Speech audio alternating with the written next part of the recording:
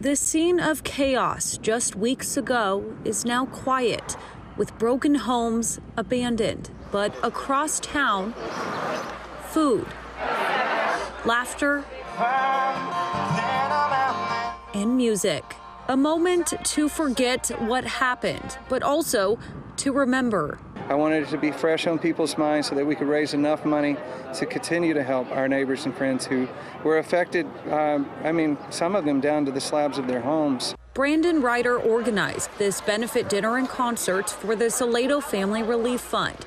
His family's home was spared. My neighbor was in his garage uh, filming the tornado as it was barreling towards our homes, and that's when it turned north. But days after, they were finding hymnal pages on their property from the churches that weren't spared. The clouds were going around and around. James Atkinson's home was also left untouched. He came from Florence on Thursday to show his support. I've got a lot of friends here. We do a lot of barbecuing together. One of many showing up for their tight knit community. All these kids play together and they play ball together.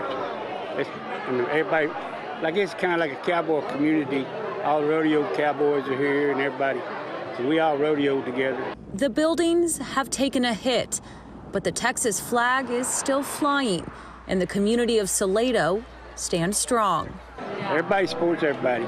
This is a proud community. It's a beautiful community. Um, and honestly, it, it has shown me a lot. Uh, the resilience, the beauty of people to come together. It's, it's been amazing.